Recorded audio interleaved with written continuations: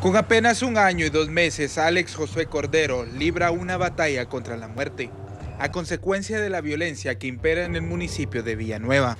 Cuando lo vimos era un niño que venía con respiración muy difícil, ¿verdad? casi eh, agónica. Lo, se intubó, eh, se le dieron las medidas pertinentes, ¿verdad? Y nos percatamos que tenía más o menos en esta área, un área de entrada, ¿verdad?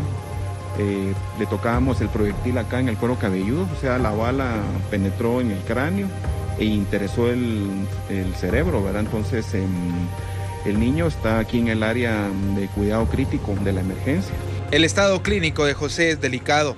Varios galenos del Hospital Roosevelt hacen lo humanamente posible para salvarle la vida al pequeño Alex. Consideramos que el niño tiene lesiones muy graves, ¿verdad? Em, vamos a, poner los protocolos de manejo crítico y aparte de eso eh, tenemos problemas que el ojo se protruyó, entonces em, los doctores de oftalmología acá están haciendo ciertos procedimientos para preservarle la función, ¿verdad? Eh, los papás están bajo el cuidado del hospital y están informados de la gravedad del niño, ¿verdad? El pronóstico es bastante reservado. El ataque armado se registró la tarde del martes en la entrada a la colonia Ciudad del Sol, zona 4 Villanueva.